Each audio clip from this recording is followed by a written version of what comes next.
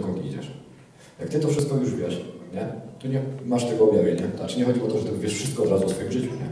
Chodzi mi o to, że wiesz o tym, że jesteś z nieba. Czyli nie jesteś tutaj z tego materialnego świata. Wiesz, że jesteś, i tu jest kwestia tożsamości, którą się poznaje przez całe swoje życie, nie? Kim, kim ty tak w tym królestwie naprawdę jesteś, nie? Co jest twoje w tym królestwie? Jaka działka tego królestwa jest twoja, którą musisz obrabiać przez to życie, nie? Musisz, nie musisz, nie musisz obrabiać. Ale jak jesteś w relacji z Duchem Świętym, to, to zdajesz sobie sprawę, że to jest, to jest tak spójne z Twoją osobowością, że tylko to Cię będzie satysfakcjonować.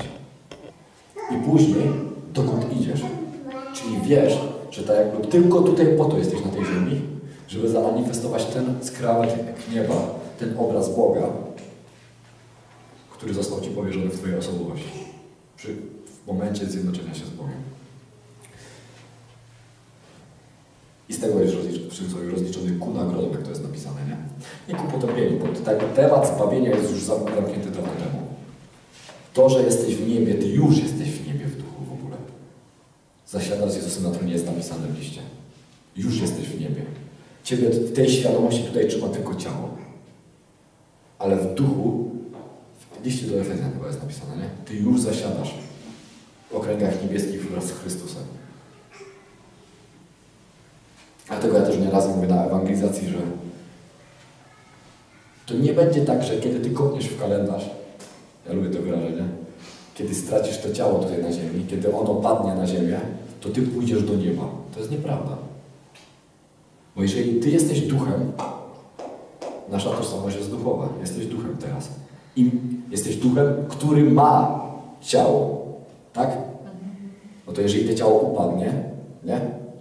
No to się nic nie zmieni, bo Ty już jesteś duchem, już jesteś święty w oczach Ojca i już siedzisz, już siedzisz na tronie wraz z Chrystusem. Są rzeczy, które są zapisane w Piśmie. To nie jest tak, że ty, się, że ty wtedy wejdziesz w życie wieczne. Ty już teraz masz życie wieczne. Teraz, w tym momencie masz życie wieczne. W pewnym momencie tylko zobaczysz to jakby siebie za siebie, zobaczysz, że ciało kipnie. To jest świadectwo masa ludzi. Za każdym razem tak jest. Pewnym momencie widzisz, że twoje ciało się przewraca, a ty się czujesz dobrze, bo ciebie, ciebie tak jakby atmosfera i chwała nieba już pochłania.